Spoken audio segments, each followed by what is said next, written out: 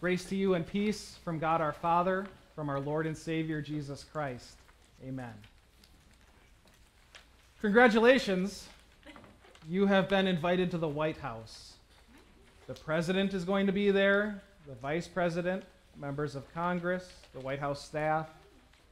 And you're not just going for a walk-through tour, you're invited to dinner. The president himself made certain that your name was on the guest list. So, what are you going to wear? Do you have something in the closet that would be good enough for an occasion like this? Your most elegant gown? The sport coat you haven't worn for 10 years, hope it still fits? Do you have something in the closet to wear? Or might you go out and, and rent a suit with a black tie? Or would you spring for a new dress? Wouldn't you want to wear your best if you are invited to the White House? I've heard this uh, argument before, uh, this analogy being used to talk about the way that we should dress for church. That if you are invited to God's house, wouldn't you want to wear your very best? And you can kind of understand where that line of thinking uh, comes from, and, and maybe that makes a good point. But, but then again, I've also heard the other side of it too. You know, doesn't God invite you to come as you are? When Jesus told the story of the prodigal son and that young man hit rock bottom, he went back to the father's house, but he didn't stop at Men's Wearhouse on his way to pick up his rental. He came straight from the pig pen with his tattered clothes and bare feet, and the father still ran out to wrap his arms around him to welcome him home. Okay, I can understand that too, right? If God accepts us as we are or invites us to come as we are anyway, well, then maybe church can be a little more casual. And I think that there are uh, definitely some different ways that you could look at it, if, if only God's word had something to say about this issue. I think it's interesting that in the second Bible lesson we had this morning, the Apostle Paul writes to a, a pastor named Timothy I am writing you these instructions so that you will know how people ought to conduct themselves in God's household, which is the church of the living God. Indeed, the scriptures do say a lot about worship and how we should approach the house of the Lord, but very few of these instructions have anything to do with how we dress or how we should uh, carry out our, carry ourselves in, in certain outward aspects. It has a lot more to do with the heart. Because in worship, God is a lot more concerned with our heart than he is with the fact that we are able to go through the motions. In fact, if you look back at Israel's history, there was a time where their worship simply became going through the motions. Their heart wasn't in it. They were focused more on what they were doing for the Lord rather than what their Savior God was doing for them. And in that case, the Lord said through the prophet Isaiah, Stop going to church. Just stop with your offerings and with your prayers. It's useless. He says in Isaiah chapter 1 Stop bringing meaningless offerings. I cannot bear your worthless assemblies. They have become a burden to me. I am weary of bearing them. Imagine a church service that is so unbearable that God can't even stand it. Right? What kind of church service is that? It's the kind where people are just going through the motions. And so he says, uh, when you spread out your hands in prayer, I hide my eyes from you. Even when you offer many prayers, I am not listening. Imagine that. God telling his people to stop offering the sacrifices, stop your prayers, stop your gathering for worship. It's not doing you any good because your heart isn't in it. Isn't that what religious people tend to do? Make make it more about the religious activity than about the relationship to God. That certainly is an age old problem, a problem that persisted in, in, Israel for many years after Isaiah. Centuries later, Jesus saw the same problem going on when he said, These people honor me with their lips, but their hearts are far from me. And he told the Pharisees of his day, Go and learn what this means.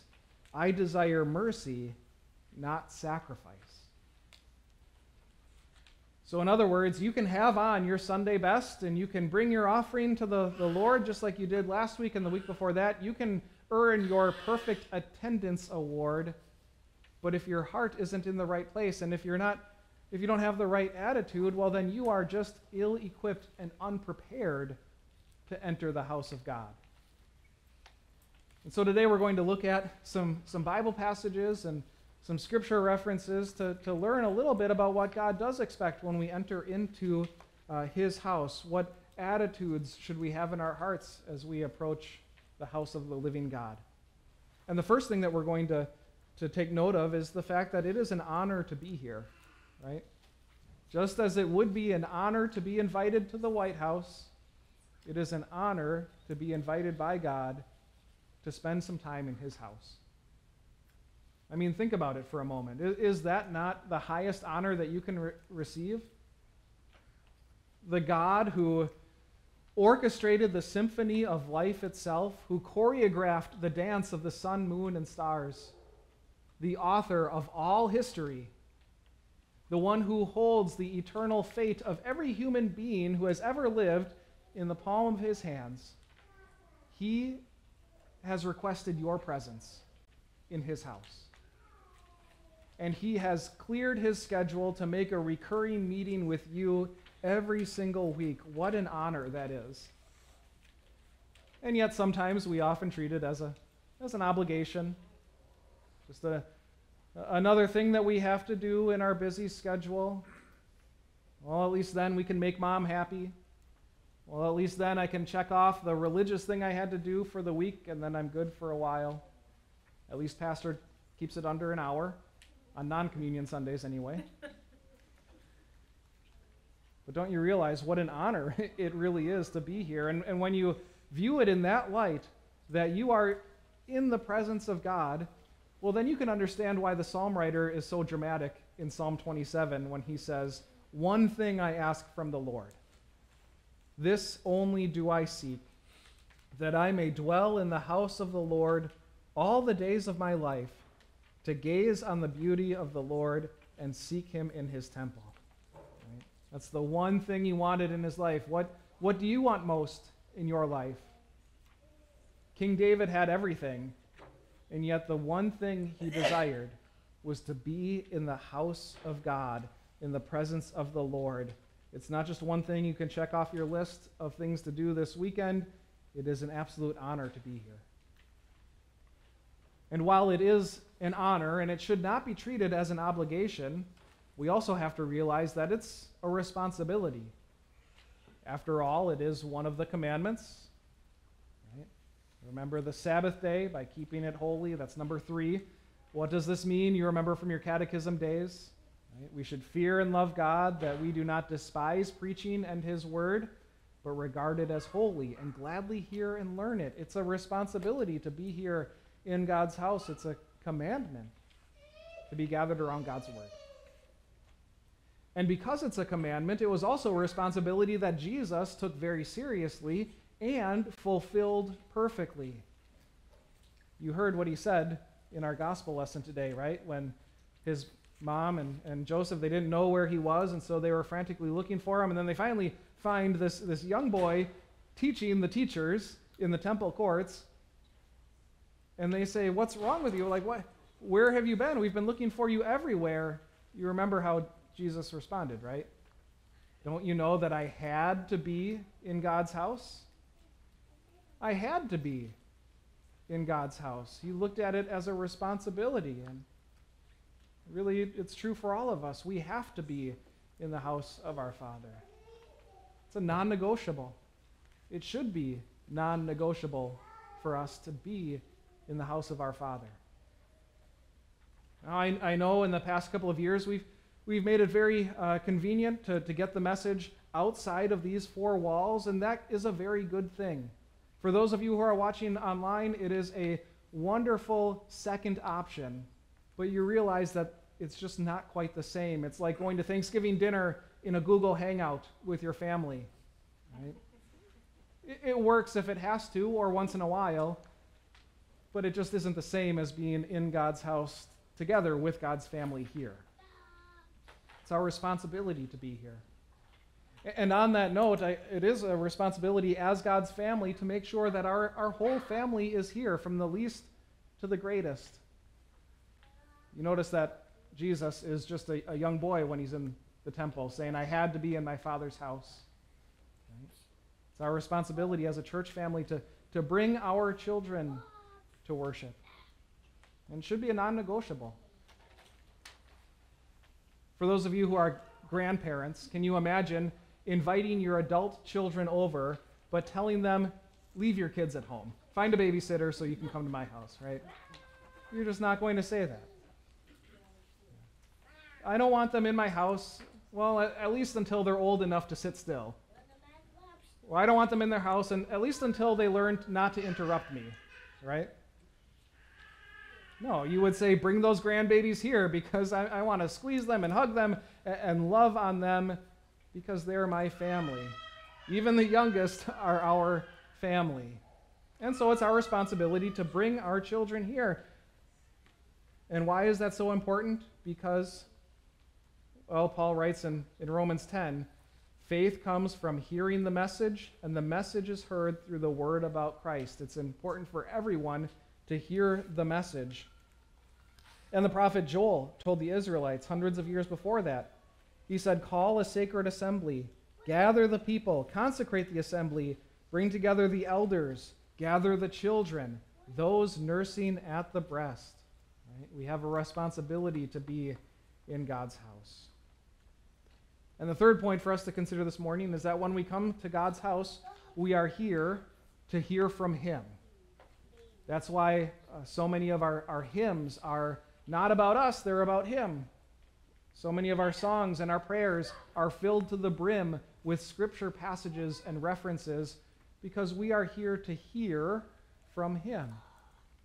That's why the cross is front and center, because we are here to hear about the wonderful things that He has done for us in giving us His Son, Jesus, to die for us and rise again to assure us that we have a place in His forever house in heaven.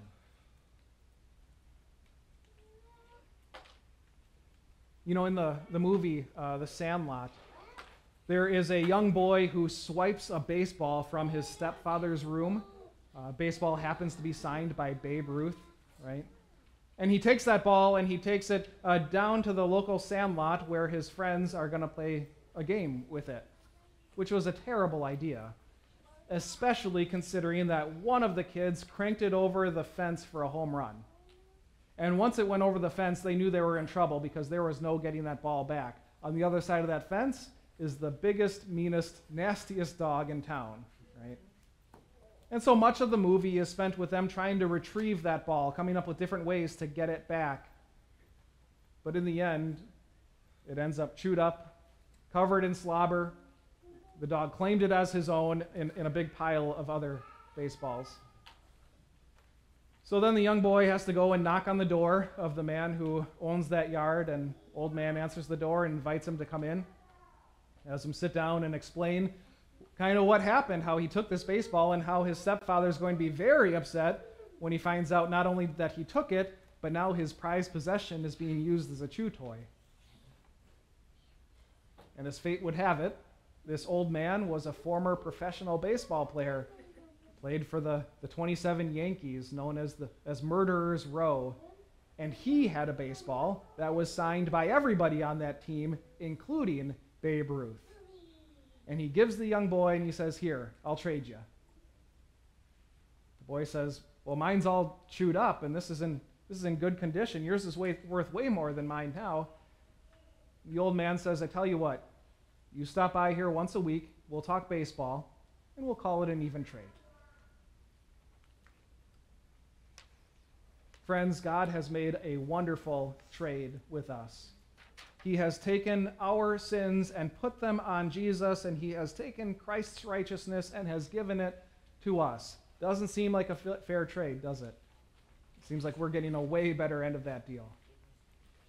Like the young man in the story of the prodigal son, God, God dresses, up in, dresses us up in His own robes of righteousness. He removes the, the, the tattered and the dirty clothes, and he gives us the, his robes of righteousness.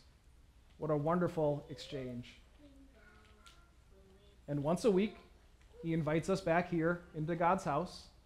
so that we can talk to Him through our prayers and our hymns, and we can hear Him speaking through His Word. What an exchange. What a God we have. What a house this is. And what a Savior we serve and meet with here in His house. God grant it for all of you. Amen.